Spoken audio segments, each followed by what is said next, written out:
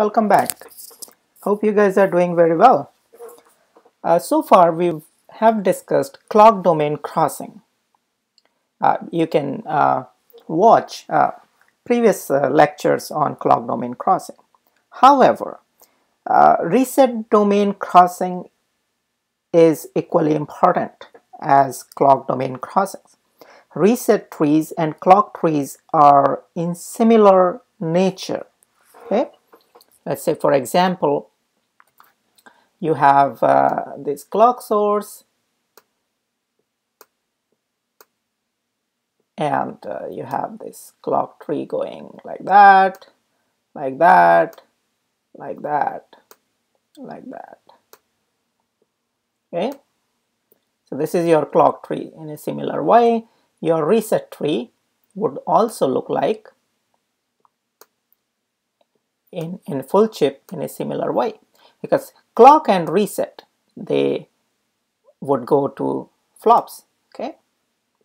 So every flop in the design would, would have your clocks reset some way to uh, initialize the value of the flip-flop okay? So we use set or reset. And that goes back to fundamentals uh, when you have studied um, flip-flop basic logic gates uh, in your digital design course. So if you look uh, clock tree and reset trees, they are similar in nature. However, you may have uh, many clocks. Let's say you may have in, in your design, say, uh, more, more than 100 clocks, okay, in full SOC. But reset may be of 4 or 5, okay, or let's say less than 10. That may include uh, you are powering down different parts of the design, uh, software reset, hardware reset, and, and whatnot. So typical, uh, in a typical SoC, system on a chip design, your clocks, you may have many, many clock domains. However, um, you may have very less reset domains. Nevertheless, many signals pass from uh, one clock domain to another clock domain uh, one, uh, one reset domain to another reset domain, combination of these two, and uh, so it, it becomes essentially important to verify uh, clock crossings and uh, reset crossings. So let's have a look at a few very basic things uh, about reset domain crossing. So as you can see here in this circuit, we are in the same clock domain okay? These two flops in the same clock domain. However uh, the first flop is receiving the reset from a different signal. I'm calling it as 1 RSTN and is simply denoting active low kind of reset which is uh, a, a, a uh, practice use active low in industry. And there are many advantages for using the active low and uh, why why to use active low why not use active high. Um, that discussion uh, some other time. Um, but in this lecture we are assuming that our resets are active low. And um, this is a, this flop second flop in the same clock domain is receiving reset uh, from some other uh, reset domain say to uh, RST uh, n active low okay and data is passing between these two flops. Okay. So now uh, if uh, somebody will say, okay, you know, I'm not crossing any clock, I'm fine. But no, no, no, hold on a second.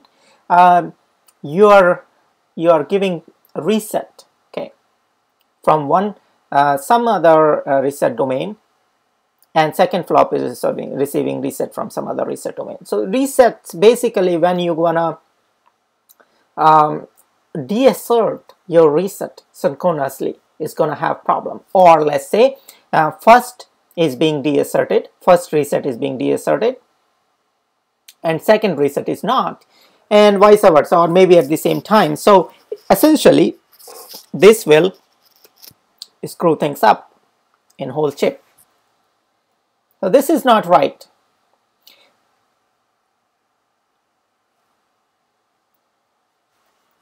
good so now what can we do with that okay so let's say uh, we just uh, synchronize the data in the second clock domain. Okay, sorry, uh, we have same clock domain in the second reset domain, or we synchronize. We put uh, another synchronizer, a synchronizer which is receiving the reset signal uh, from the second uh, reset domain, and essentially synchronizing uh, synchronizing this data. Okay. So this may go in a metastable state. Um, there is a high probability, but then second flop will make sure that your your data is being sampled correctly on onwards. Okay. So it is very similar to the clock domain crossing. Now let's uh, take another scenario where we have uh, two clock domains and uh, our reset signal is passing.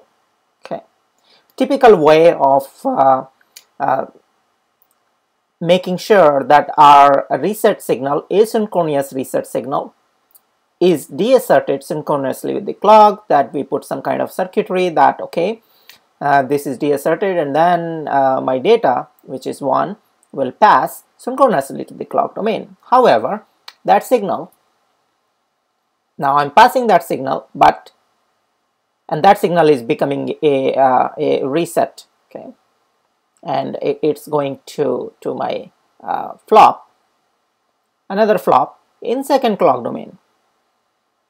So this, this deassertion becomes synchronously to the first clock domain but will not be synchronously to the second clock domain. So it becomes asynchronous reset in the second clock domain. Okay. So that's uh, another problem we can't do directly because um, because of metastability, uh, which is an inherent uh, uh thing in in our uh, sequential logic or flops. So what do we do with that? Okay.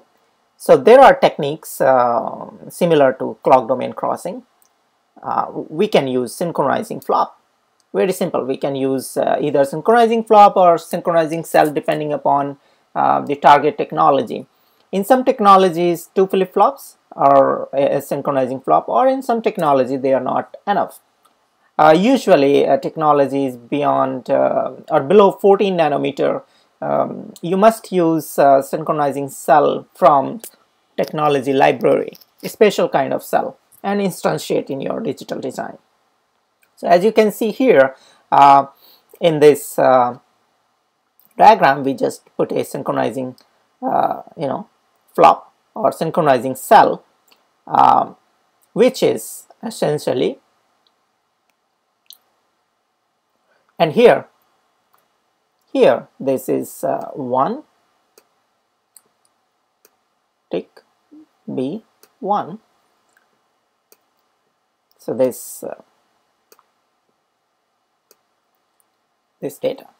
Uh, so the synchronizing cell receiving one uh, uh, data, one bit, and it is it has the asynchronous reset which is coming from clock domain one. Okay, and then the one is passed to as a synchronous uh, reset or as a uh, deassertion becomes synchronous in the second clock domain. All right.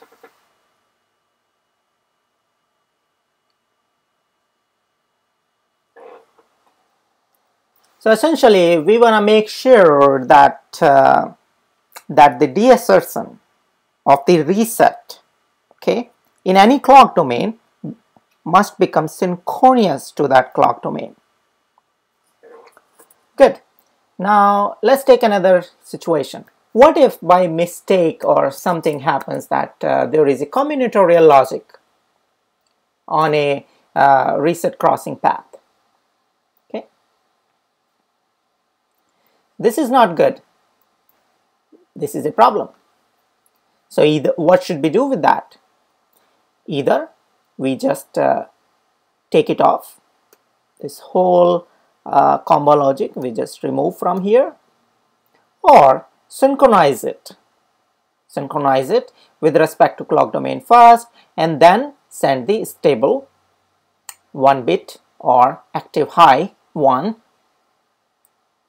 to the second clock domain and make it a synchronizing or give it a uh, reset to the uh, synchronizer input and, and forward.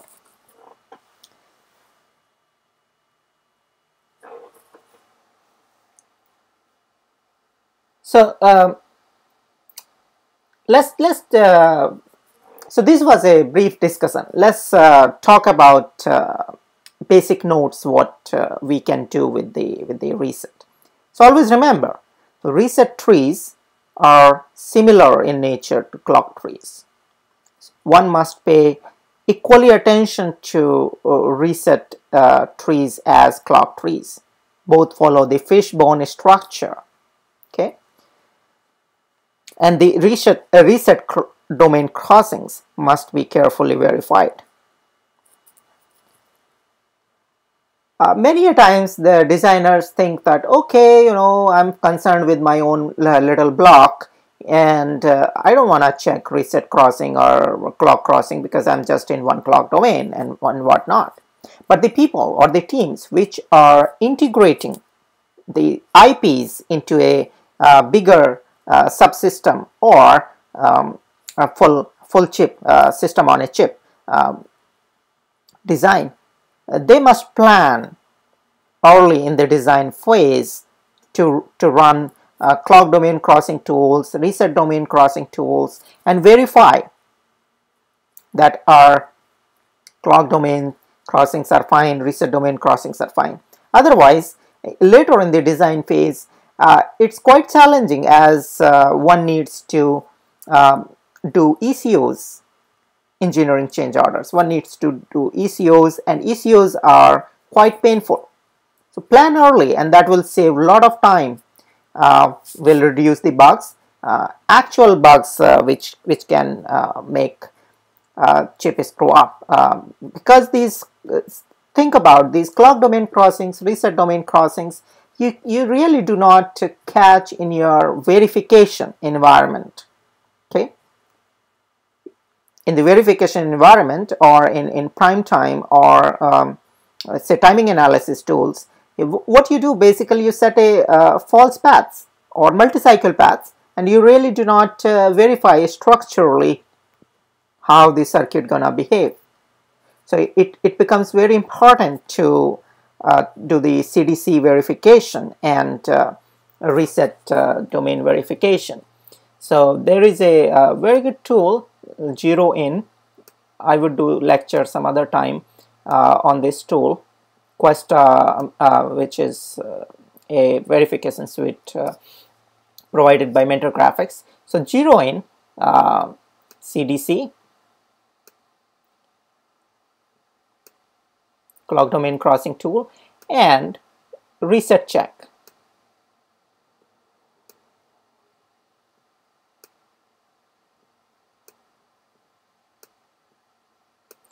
So these two tools one can run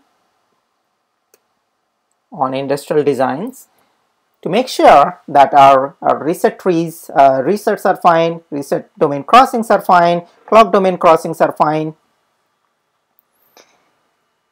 And uh, as uh, we said uh, multiple times, the resets must be uh, deasserted synchronously. You can have asynchronous assertion of the reset, but deassertion must be synchronous to the clock domain. All right. So thank you very much, guys. Thank you for listening. I hope um, uh, these lectures are contributing to your knowledge and um, you guys are benefiting from, from these lectures. Thank you again for subscribing, uh, liking, Google Plusing uh, LEPROFESSEUR channel on, on YouTube. If you are struggling with uh, certain topics or if you like to have lectures on special topics uh, which uh, you feel that uh, we can help you, uh, please do not, please feel free to send us an email message. Uh, we would do our best to help you.